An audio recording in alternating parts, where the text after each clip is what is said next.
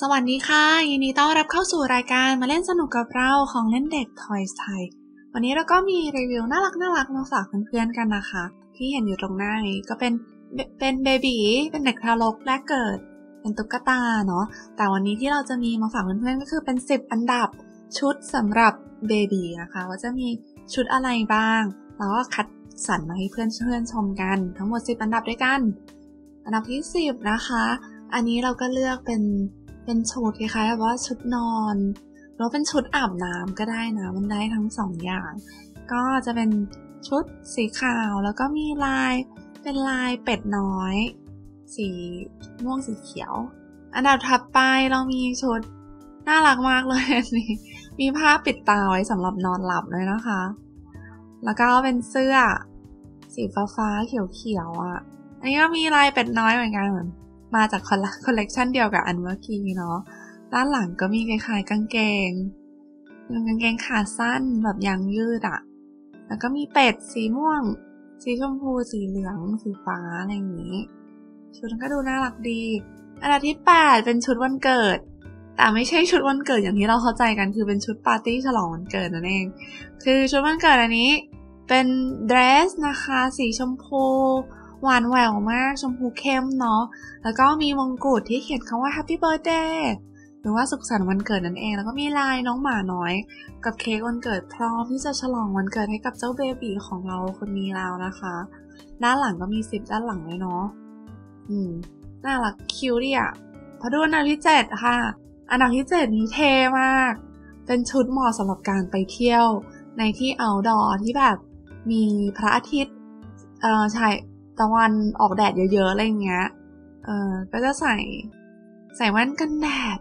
อย่างเท่อะแล้วก็มีหมวกแก๊ปสีชมพูด้วยเป็นลายหมากับห่วงยางเนาะสามารถเอานี่แว่นกันแดดมาคาดหัวได้นะคะ ตรงชุดนี่ก็จะเป็นแบบเป็นลายบอลลูนลูกโป่ง อันนั้นทำหน้าอันดับนี้เลยเป็นชุดแนวคอสตูมนิดนึง เพราะว่าชุดนี้เนี่ยเป็นชุดคุณหมอนั่นเอง จะแปลงร่างเจ้าเบบีของเราให้เป็นนายแพทย์ หรือว่านานางแพทย์เขาเรียกว่าอะไรอีนี้นะคะ แล้วก็มีอุปกรณ์ในการตรวจผู้ป่วยให้ด้วยอืมชุดมันก็เป็นลายแบบอุปกรณ์การแพทย์อะเนาะ เครื่องวัดหัวใจวัดชีพจร นี่มีสร้อยข้อมืออะไร ลายหัวใจน่ารักน่ารักด้วยนะคะแล้วมีผ้าคาดหัว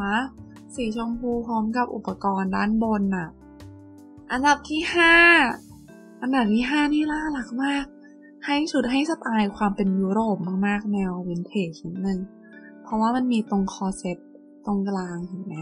เออเป็นชุดแนวสีเขียว แล้วก็มีดอกไม้สีขาวกับเขียวแล้วก็เป็นลายแบบ ลายเป็นลายสกอตหรือเปล่า อ่า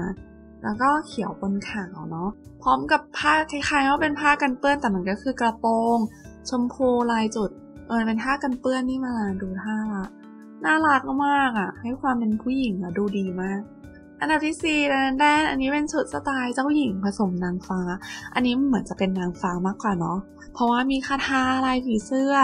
แล้วก็มีเดรสเป็นผ้าชีฟองนะคะ สีชมพู ตรงปลายตรงล่างก็เป็นสีม่วง พร้อมกับมีปีกปีกผีเสื้อด้วย แล้วตรงคอก็มีเป็นแฉกๆเป็นปีกๆออกมาด้วยนะคะ นี่มีคาถาให้น้องเบบีน้องทารกของเราเนี่ยสามารถไล่คาถาได้ แล้วตรงข้างบนผมก็เป็นผ้าคาดหัวนี่อันดับที่สามเป็นชุดที่เท่มากเลยค่ะ ชุดนี้เป็นชุดขี่ม้า สำหรับน้องเบบีของเราตรงเสื้อเชิ้ตข้างในเนาะก็เป็นลายหมา แล้วก็มีแบบแจ็คเก็ตเก๋ๆสีชมพูพร้อมกับกระดมสีม่วงนั่นเอง ก็มีกางเกง มีรองเท้าบูท อันนี้เหมาะที่จะออกโรงขี่มาเรียบร้อยแล้วนะคะ มีหมวกนิรภัยเพื่อความปลอดภัยด้วย อันดับที่สองนะคะ อันดับที่สองนี่เป็นชุดคล้ายๆกับ คล้ายๆกับชุดแรกเลยเนาะ เป็นชุดอาบน้ำนั่นเอง เป็นชุดอาบน้ำสีชมพู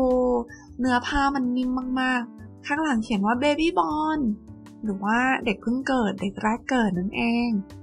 แล้วก็มีฮูดสามารถคลุมหัวก็ได้เอาลงมาก็ได้นะคะ ชุดอันนี้สามารถเอาไปใช้ให้กับลูกๆของจริงได้นะคะ ถ้ามีใครคนดูคนไหนเป็นคนแม่นั่นเองเป็นเป็นคุณแม่นั่นเอง อันดับที่หนึ่ง อันนี้ไม่เชิงเรียกว่าชุดเนาะ มันเป็นแพมเพิร์ดอะเป็นเซ็ตแพมเพิร์ดแล้วก็นี่